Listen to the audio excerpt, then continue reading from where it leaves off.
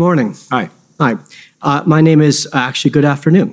Uh, My name is Sujit Choudhry, and I'm counsel for the CCF, for the record.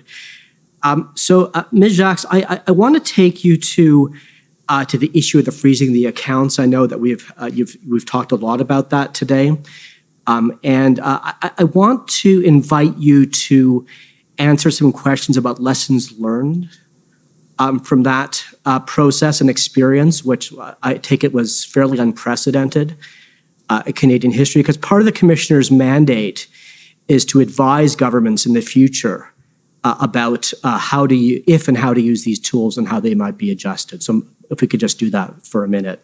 So you've heard uh, that uh, for some individuals, and we've had testimony to that effect, uh, that because their accounts were frozen, they weren't able to meet their basic necessities. It might be child support, rent, food. Uh, in one case, we had a witness testify that he couldn't buy heart medication uh, for his son, and, I think we can all agree that was not the intent uh, of the order. And, and so I, I want to put to you this question that you've said, listen, whatever the order said on its face, when we provided um, advice to financial institutions about how to administer it, we asked that they use discretion. Uh, but wouldn't it have been better to put a humanitarian exception into the terms of the order itself uh, to ensure there was crystal clarity, uh, not just to those institutions, but to members of the public who could have looked at the order online but would not have had access to that, to that advice provided to banks and credit unions. That in fact they had that right to obtain monies that they needed to make, they, to obtain monies that they required to meet their basic needs. Certainly, I mean, looking at it, uh, you know, one of the key points that we did look at at the outset when drafting, and you must understand we were uh, working on this fairly quickly, uh, looking at a de minimis amount, but we also understand that a number of people were donating small amounts uh, to crowdfunding platforms, right? And so there was always that possibility. But uh, looking at it, if we were to do it, I, I think we could craft some exemptions uh, for the application for very specific cases. It's not something uh, that we did in the time that we had, but I don't disagree with you that it's something, you know, in hindsight that we could look at in, in being uh, more specific in that regards. Because the intent was not to affect, unduly affect, you know, uh, payments of child support or other payments. Thank you. And, and maybe uh, a broader question um, on the same theme or on a related theme to the panel as a whole, which is about consumer credit. Um, and so I, I think the panel would agree uh, that credit histories and credit scores, uh, although kind of privately administered, are, are an important form of social and economic capital uh, that citizens have. They require those scores to get credit cards, to get mortgages, to get loans, uh, and so forth. And, there, and there's been evidence uh, that you might, might not have heard, but I'll ask you to take my word for it, that some individuals who had their accounts seized and subsequently um, those accounts were released to them, nonetheless have had lingering effects on their credit history because of mispayments. And that might not be an effect. And so, to your point, Mr. Sabia, that the act was only used for a limited time period, that might be true, but the lingering effects of a, of a decline in someone's credit history or credit score could uh, could occur, could um, could take place or be, be experienced over many months or many years. And should there not have been some thought and some aspect of the order that would have taken into account the long-term effects on individuals' credit histories and credit scores by the temporary freezing of their accounts, even if only for a short time? But- But you're talking about people here that were involved in unlawful activities. Well, well, ma'am, that's not true. I mean, I, I think you, you've just said yourself that it was donors. To our knowledge, no donors were affected by this, uh, the order. There were no accounts frozen, uh, to the best of our knowledge, based on the information that we've received. There were no accounts uh, from donors that were frozen. And so, and so, and, and the long-term effects on credit histories, that's not something that concerns you at all? I think that's, I think that's an issue for, um, I, I think that's an issue for the financial institutions and how the financial institutions administer these things. I don't think that's something that, um, that is in the ambit of the government of Canada. I think um, if, I mean, that's something that, as you know, in how the credit system works, that's something that the credit system should be able to deal with on its own. Yeah, and so, you know, Mr. Sabia, I- I'd put to you that although it's correct that it's a privately administered uh, system, nonetheless, in this case, uh, decisions of the government of Canada um, had a direct effect on how that system operated, not just in the short term, but for many months and, and potentially for long after. Well, I guess I would dispute that. Um, I think the government of Canada uh, made some decisions um, with respect to the cessation of financial services, the freezing of accounts, uh, to, to individuals who were involved in illegal activities. And all that those individuals had to do um, was to leave. And the, let's put this, let's back up a little bit. Uh, the government announced its intention to proclaim or to invoke um, the Emergencies Act on the 14th. It was very clear, very clear uh, as of that date, and the Minister of Finance was very clear as of that date, that uh, people involved in these uh, disruptions ran the risk of having their accounts frozen. That was very clear. So there was a period of notice there. Um, and it was very clear that all that had to happen was for those people to leave. And as if they did, their accounts would never have been frozen or that they would be immediately unfrozen if they did leave. Um, so I think people had uh, reasonable notice and it was a very simple solution. All you had to do was leave.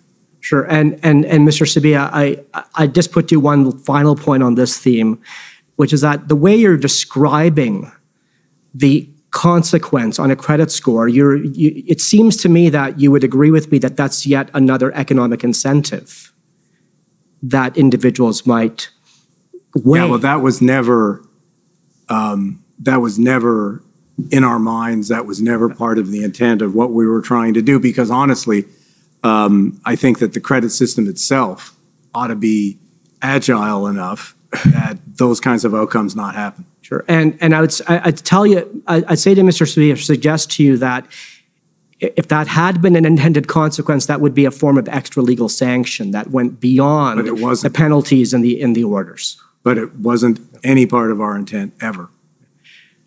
Could I, could I take you to um, the issue of crowdfunding uh, and the regulation of crowdfunding? And so I know that one of the many issues on your um, agenda uh, during the period leading up to the uh, invocation of the Emergencies Act wa- was the question of the available legal tools uh, to um, curtail the flow of funds uh, towards uh, protesters participating uh, in the in the various blockades. And I and I and I recognize you're not lawyers. I'm sorry to have to ask you these legal questions. Isabelle's a lawyer. Oh, Ms. Jacques. Well, it might be that you are to answer some of these questions, but I, I put them to the to the whole panel. Probably shouldn't. Uh, and so, um, and so, what I'd like to do, if if I may, uh, if I could call Mr. Clerk uh, to call up to call up the following witness uh, statement uh, the- or interview summary for this panel, and it's uh, W2S WTS many zeros, uh, 59,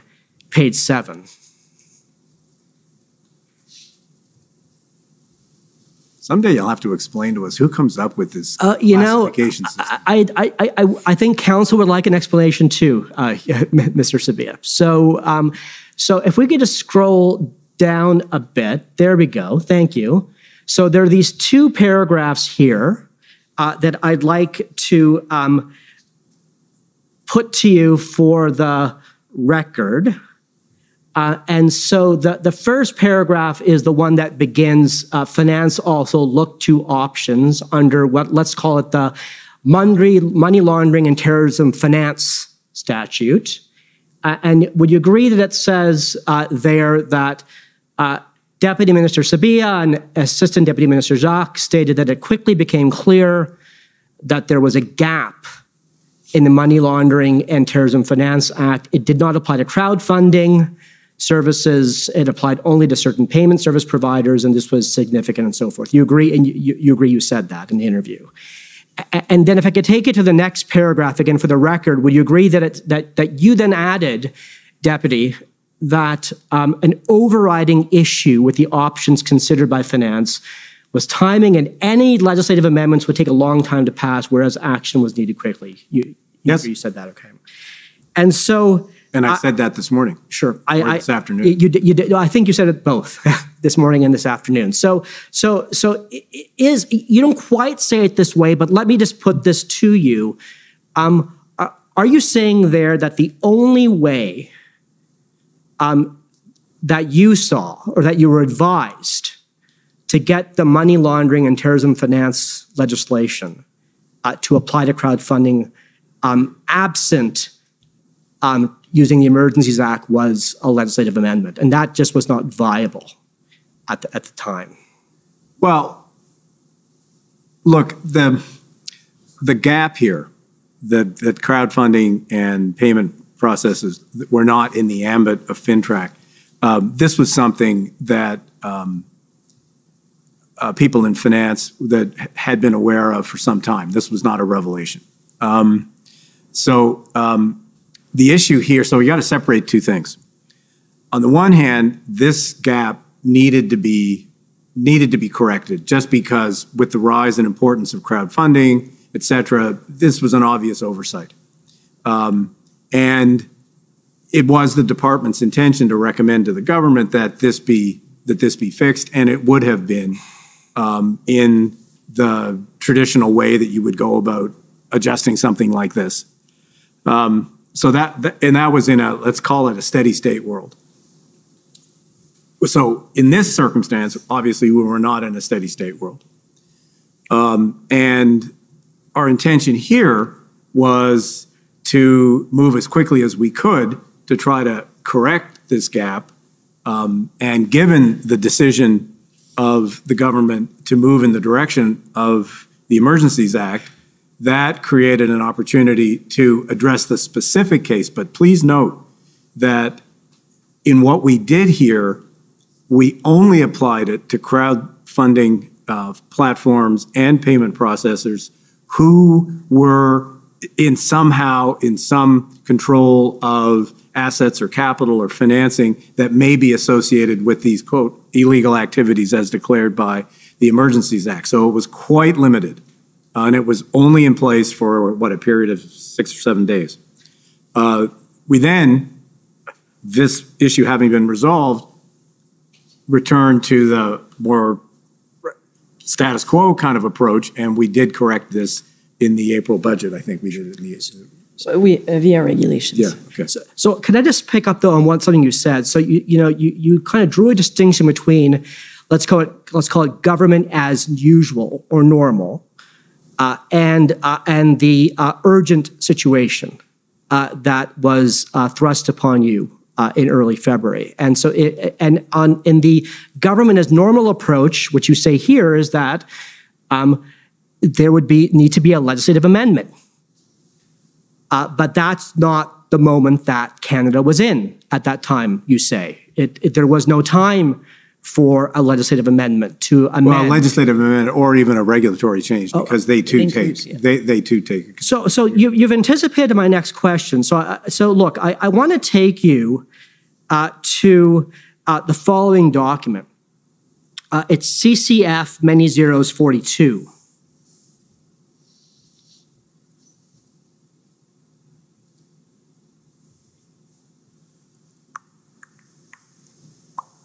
Thank you, Mr. Registrar. If you could scroll down, so if we could stop there, actually, sorry. You can see this, this is a- an amendment to the uh, regulations in relation to the money laundering and terrorism finance statute. It was promulgated on April 5th uh, by the governor and council. And as you know, th- the governor and council just does that. There's no legislative process involved there. Uh, and then if you could scroll down, please, to section two. And so here, what- let's, if you could go, yes, actually, that's right. the regulations are amended by adding the following before section 30. It says, uh, for the paragraphs of sub-paragraphs 5HV and H point, H.1V of the Act, crowdfunding platform services are a prescribed service. So I'd put to you that what this regulation did was to extend FINTRAC's authority and the application of FINTRAC to fund crowdfunding services. Would you agree? Yes. Uh, But this could have been done just as easily in early, Fe- or early or mid-February.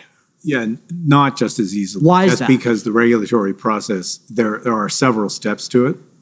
Um, It is quicker, you are, you are correct, than, Yeah. in typical circumstances, than the legislative process, but there are a number of steps involved. But, but Minister, uh, you know, sorry, Deputy Minister, Yeah, big difference. sorry, excuse me, but I, I, I take you, if, you- if you'd like, I can take you to the terrorism financing legislation itself, but we don't have time. But I, I'd put to you this, that there's nothing there in section 73 sub 1 or 73.1 sub 1 that spell out a lengthy, detailed regulatory process. It might be that that is what normally is done, but as a matter of law, that's not required.